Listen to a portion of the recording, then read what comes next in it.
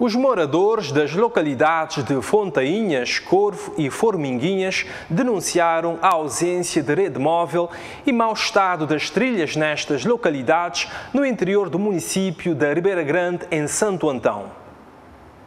Aproveitando o debate sobre o turismo sustentável no segundo dia do Fórum Nacional da Juventude, que decorre no município do Porto Novo, o representante das comunidades Rui Graça alertou para os problemas que condicionam a atividade turística nessas aldeias. Além da falta de rede móvel, o líder comunitário avisou ainda que a trilha turística entre Cruzinha e Ponta do Sol, que abarca Fontainhas, Corvo e Forminguinhas, está muito deteriorada e pediu atenção das autoridades competentes para a necessidade de se proceder a intervenções urgentes nesse percurso. No caso dos caminhos vicinais, Rui Graça exortou a união entre os poderes públicos e essas comunidades para a reabilitação dos percursos cuja situação, a seu ver, está a pôr em causa a segurança das pessoas que neles transitam. Entretanto, no âmbito do projeto Raízes Consolidar, vai ser instalado em Fontainhas um posto de informação turística, anunciou na terça-feira o coordenador deste projeto, cofinanciado pela União Europeia,